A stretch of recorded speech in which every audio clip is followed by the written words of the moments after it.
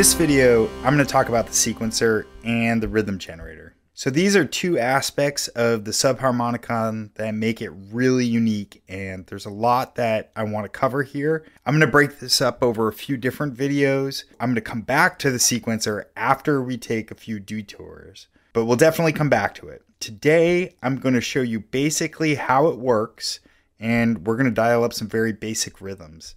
By the end of the video, we'll do an experiment and make a basic chord progression and play a sequence over it, essentially making a nice sounding patch with the mother and the subharmonicon. So let's take a look at the sequencer. There are actually two sequencers, each with four steps. Sequencer 1, sequencer 2. And they're identical, one on top, one on the bottom. The tuning knobs let you change the steps of the VCOs, and the lights show you which step of the sequencer it's on. Sequencer 1 is hardwired to VCO 1, and sequencer 2 is hardwired to VCO 2.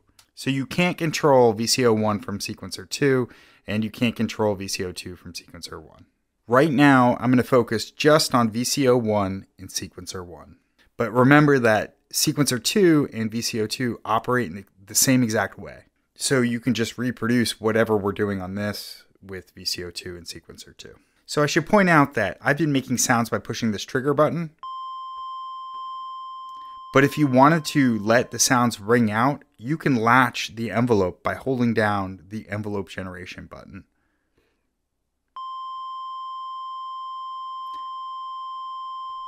That can come in really handy when you're tuning or finding a specific step or something like that. It frees up both your hands. The reason I'm not doing it in the video is because I'm talking and explaining how things are going, and it would be kind of annoying if this was ringing out the whole time while I was explaining things. So for the sake of the video, I'm just going to hit the trigger button. Usually, I bypass the envelopes by holding down this button. It's just a good trick to have. Another thing that as we adjust our steps, you're going to want to make sure that the light is directly under the step you're adjusting. So let's start off. That's the sound of VCO1. Now if you notice, when I turn this knob, nothing happens. And that's because we need to tell sequencer 1 to react to VCO1. These buttons come into play to assign each sequencer to the different oscillators. The first one is oscillator 1, the sub oscillator, and the second sub oscillator. Now keep in mind that as we went over in the oscillator section, each sub oscillator is already tied and associated with the main oscillator. If the sequencer is moving the main oscillator, it's also going to be moving the sub oscillator. If you turn on the assign for the sub oscillator, it's going to move as much as the, as much as the main oscillator is moving from the sequence, but also a double that because the it's also being assigned from the sequencer. So as I said, I'm going to go into some functions in more detail in later videos.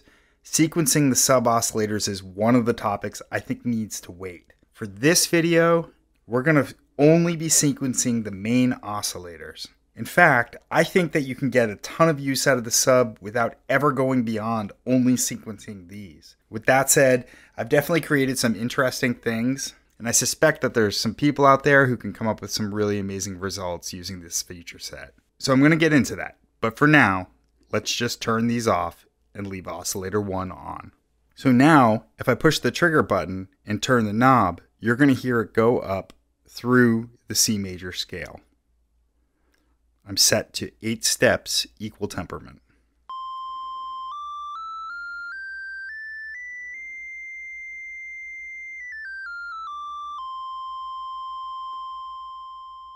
And it's just like moving this.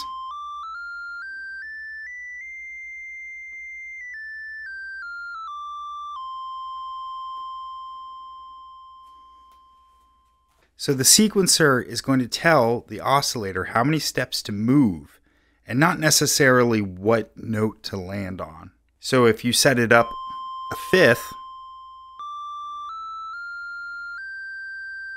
it's going to be a fifth up from whatever this frequency is.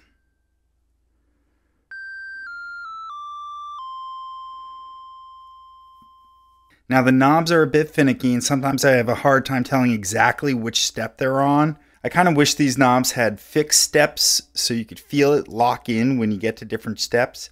And the reason I suspect Moog decided not to do that was that having these be smooth, you can operate the sequencer in unquantized mode and switch between 12 and 8 steps easily. The range for each of these is determined here. Remember at the beginning how I said this I thought should be more over here if we were talking about a functional design because it has to do with the sequencer? That's what it does. It sets the range of these. So let's talk about the range. Right now I'm set to plus 1, minus 1.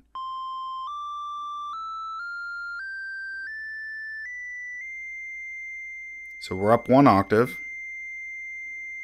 And notice I can't go any further. And it would be the same if I went down. If you set it to 2, those steps become smaller.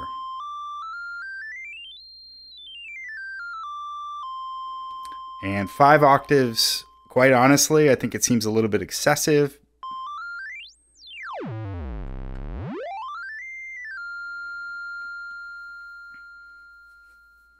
I don't think I've ever used that other than just experimenting around and making weird noises. And I think it makes the individual steps just too hard to hit. I mean, right now we're on eight steps and I could barely hit it.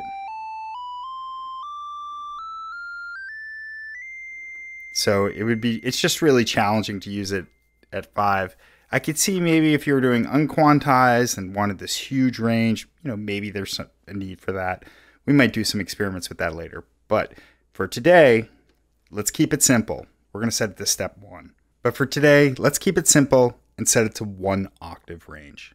If you're using the sub as a rhythm instrument, playing chords or a bass line underneath a sequence, say from the mother, Generally speaking, one octave is enough. So let's talk a little bit about the rhythm generator. And again, this is one of these things that we're going to get into polyrhythms and all the different stuff that you can do with this. But right now, I just want to kind of show you roughly how it works. When you turn it all the way up, it's set that for every pulse in the clock, it's going to move one step. So for instance, I'm going to plug from the assign output of the mother into the clock. And right now, I'm going to program in a little sequence in the key of C.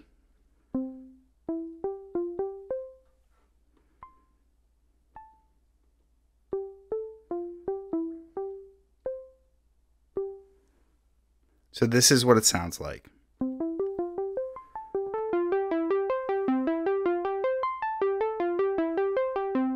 Pretty simple 16 step sequence. We set this all the way counterclockwise, and we use these two knobs to say this rhythm is going to impact both sequencers. Then this is the only rhythm knob that matters. These don't matter at all because they're turned off. So if I hit play, once I hit play on the mother, this is going to move one step forward every single step of the mother fact, I'm going to turn down all my oscillators just so you can watch it.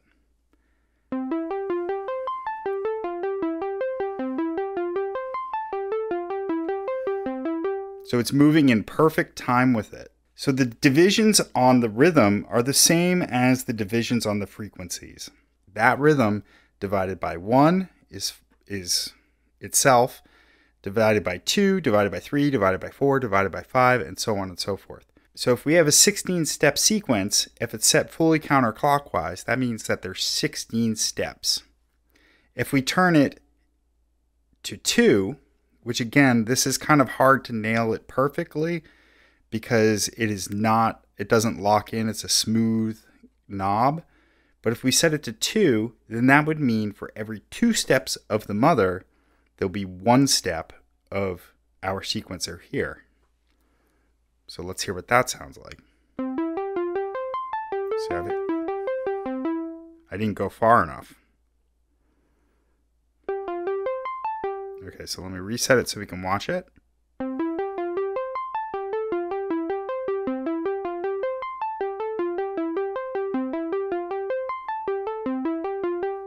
And as we go on and on, it will just subdivide it even more. So what I'm going to do today is I'm going to actually say divided by 8. And what that will mean is that it will move one step further every time the mother moves 8. Let's just watch what that looks like.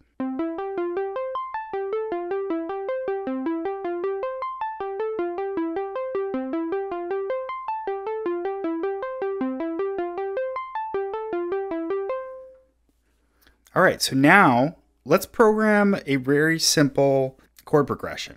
So I'm going to unplug the connection to the mother for right now, and I'm going to move this to my first step.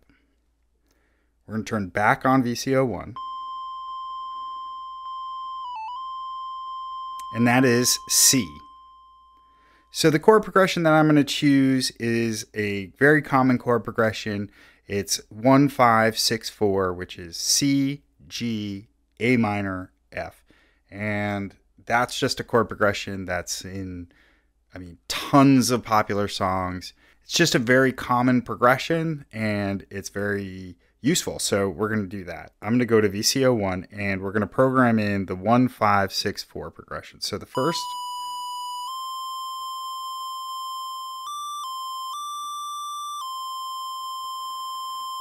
So there is our C. So if we go down here, middle C.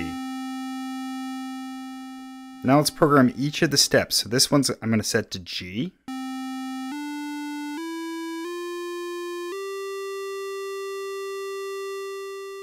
This one I'm going to set to A for A minor.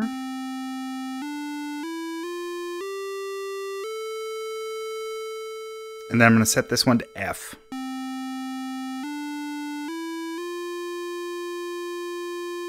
And now we should have a 1, one 5, 6, 4 progression.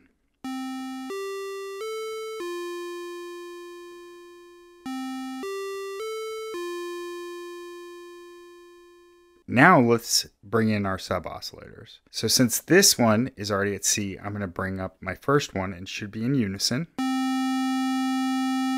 And I'm going to turn it one octave lower.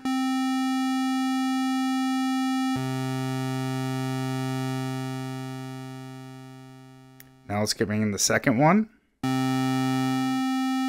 And I want this one two octaves lower. So that's the first octave. And the next one brings up an F, so we don't want that. And there we go, that's our third octave. So one, two, three octaves worth of C. If we turn this up, we should get a very fat C sound.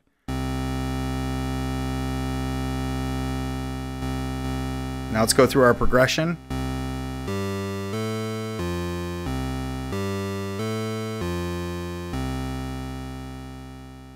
All right, I'm going to turn these down. We're going to go to VCO2. VCO2, I want to, we're going to set this, do the same thing as VCO1, but we're going to put it at G. So that means that we'll have a 1 and a 5. So the first sound we want to hear, we'll make sure to assign it to oscillator 2. And so we're at C, so let's turn it up to G.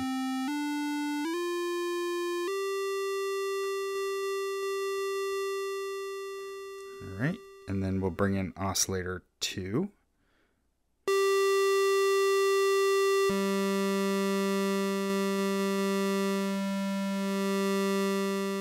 And now oscillator 3.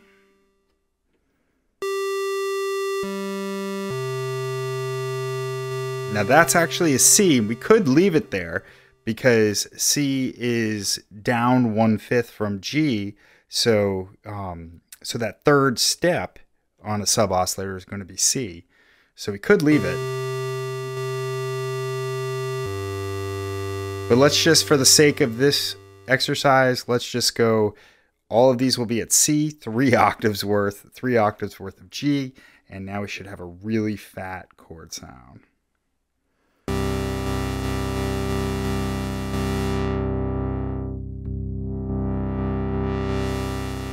Pretty good.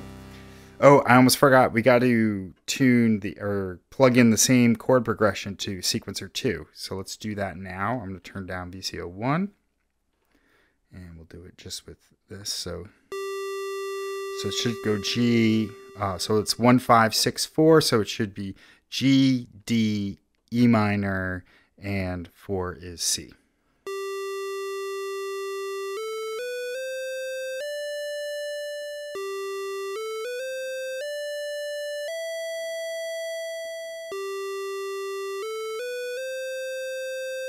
So that's the notes are G, D, E, C. And you could set this to C first and then make sure that all the notes are exactly the same in unison. Or, you know, like if I were to turn it to like this, then you could actually just play through each and make sure that they're in unison.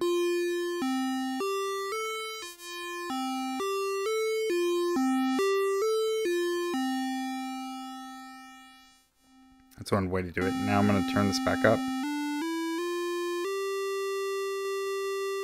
So now let's hear what it sounds like all together.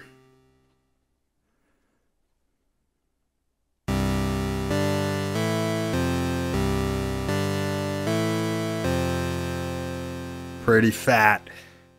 All right. Let's program a new sequence into the mother. So let's do something cool.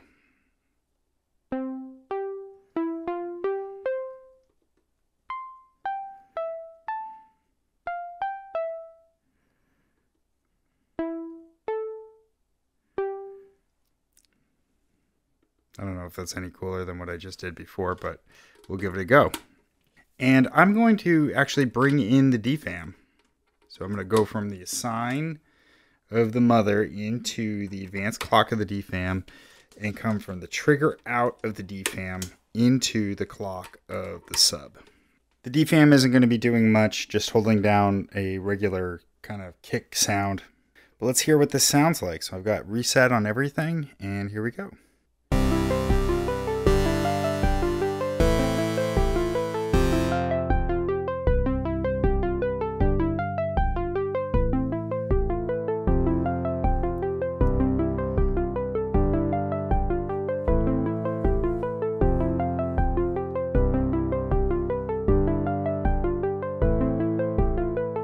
I'm to mess around with sounds a little bit.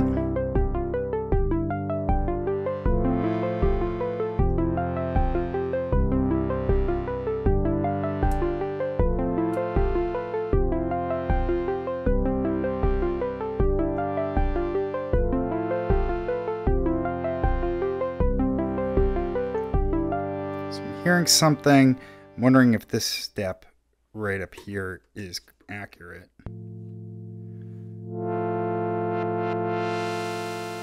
So let's just turn these down for a second. Now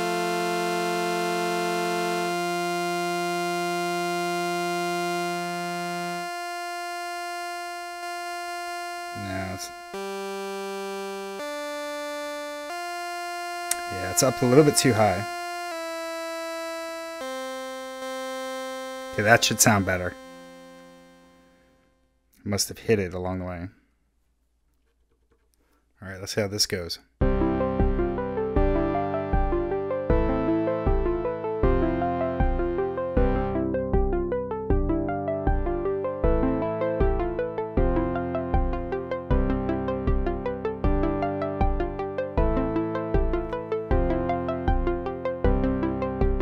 Now, something I brought up in the last um, video is that sometimes turning this envelope generator down in a negative value can make these swells. And so something like this is perfect for that.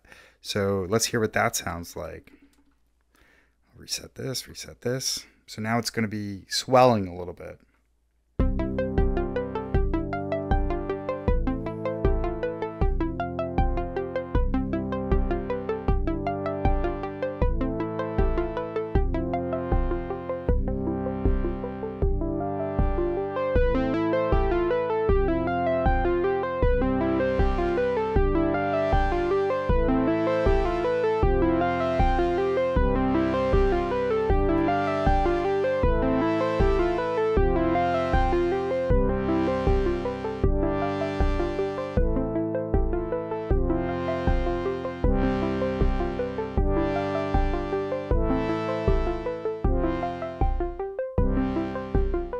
Are we going the other direction?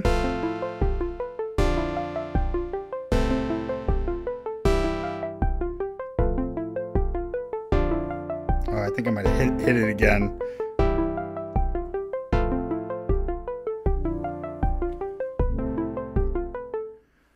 And you can see how that's just a great way to build up a patch. And if we wanted to speed this up and have it maybe go four steps for every time through, let's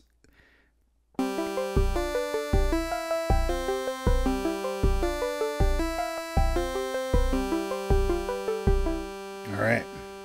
So now I have it set to go through uh, every four steps of the mother. It's going to move on one forward. So, but let's just, for the sake of it, let's erase that sequence and write a new one um, based on these chords. So the first um, four notes, I'm going to have it be C.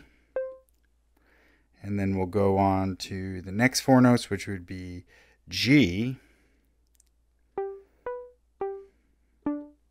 And then A minor. And then F. And let's hear how that sounds because then it'll be playing the arpeggios for the chord as the chord is playing. So we'll reset this, reset this, make sure the DFAM's all set, and here we go.